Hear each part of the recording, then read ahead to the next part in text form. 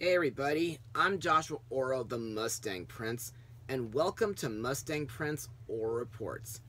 Now, I probably don't need to tell you about Mark Twain at this point, due to the fact that he was the most classical American author of all time.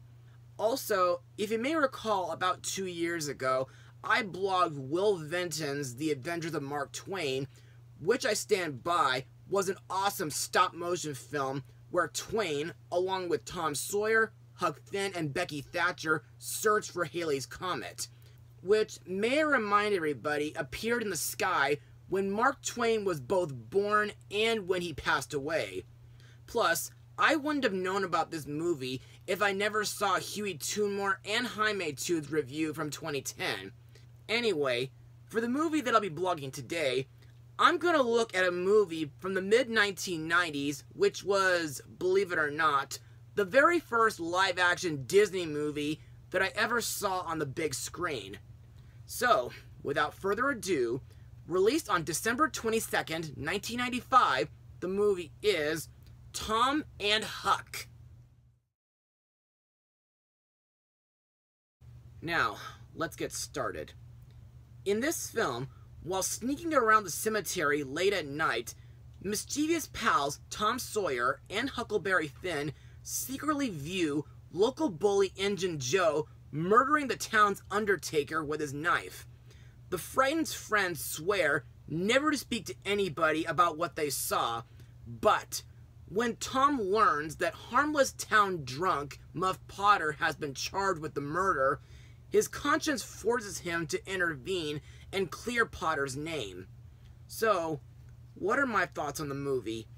Well, like with The Mask of Zorro, I didn't understand too much about this movie when I saw it in theaters when I was about five years old.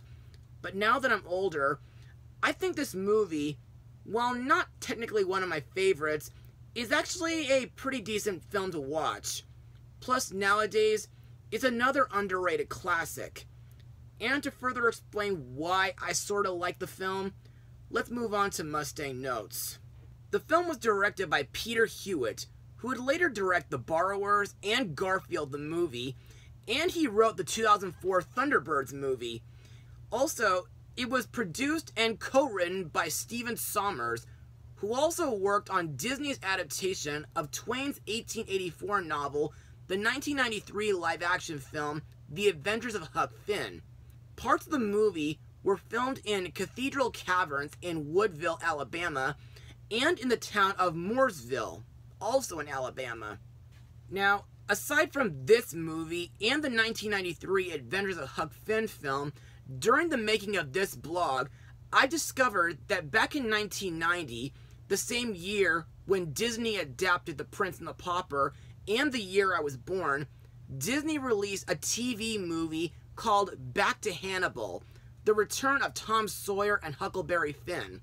Also, I think it's pretty insane that Disneyland's Tom Sawyer Island has been in the frontier area ever since 1956. Plus, while Tom and Huck is the very first live-action Disney film that I've seen in theaters, I have seen a few other films in theaters when I was still very little during the early 90s before seeing it, like Aladdin, The Lion King, Pocahontas, Casper, and Sabrina. Anyway, while watching Tom and Huck again for the first time in, let's just say, a long while, I realized while it is rated PG, this movie is not technically for little children due to several serious and dark moments. Plus, it even includes alcohol and a little bit of adult language, which kind of does make sense since, like I said two years ago, Mark Twain is not a children's author, just an author for no particular age group. Anyway, I've also discovered that there are several things in this film that make it pretty different from the original book. For example, in the book, the town is named St. Petersburg, but in the movie, it is named Hannibal. Still, I think Hannibal looks like a very nice little southern village, and I think the film's cinematography is pretty good for the time. Also, I think this film is pretty similar to the 2003 live action film Holes, another live action Disney film that's rated PG and not for little kids to watch. Plus, I like that the movie involves a buried treasure and that the movie's main plot involves Tom and Huck trying to save an innocent man from a terrible fate. In fact, there are a few scenes that are pretty memorable in my opinion, like the whitewash scene, the scene where Tom and Huck are covered in mud, and the cave scene at the film's climax. Also to note, I think the musical score by Stephen Endelman is very catchy, and it's also very fitting to the southern frontier. And that's all I got for Mustang notes. So, let's move on to the cast. Let's start with our main character, Tom Sawyer, played by Jonathan Taylor Thomas, whom was in The Lion King, The Adventures of Pinocchio, The Adventures of Spot, and I'll Be Home for Christmas. To me, like in the book, Tom is a kid who has a habit of getting into trouble and looking for adventure and excitement. Plus, there are times when Tom can be a bit boastful, but at the same time, he is kind, gentle, and friendly, and he does not abandon a friend who's in trouble. During this movie, Tom makes it his goal to save Muff Potter from a false murder charge.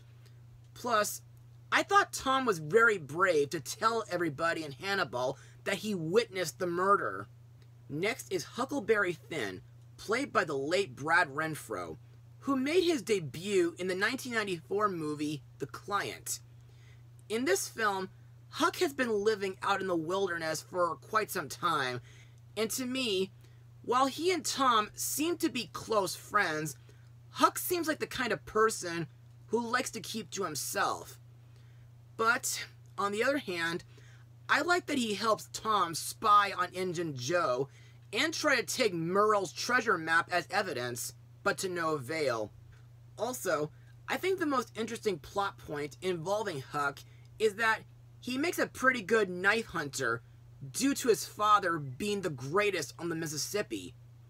At the end of the movie, Huck gets adopted by Widow Douglas.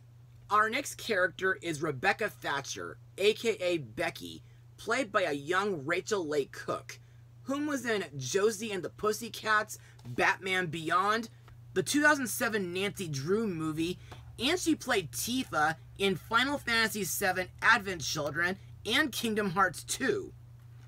As mostly everybody knows, Becky is Tom Sawyer's crush, and she's a considerably uptight and stuck up yet mischievous young girl. Like during the scene where she pushes Tom off a bridge.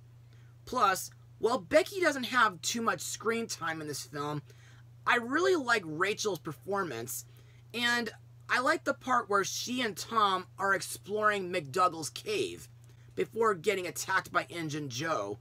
However, I didn't really like the part where she punches Tom after he revealed himself to not be dead after falling out of the church ceiling, courtesy of Huck pushing him.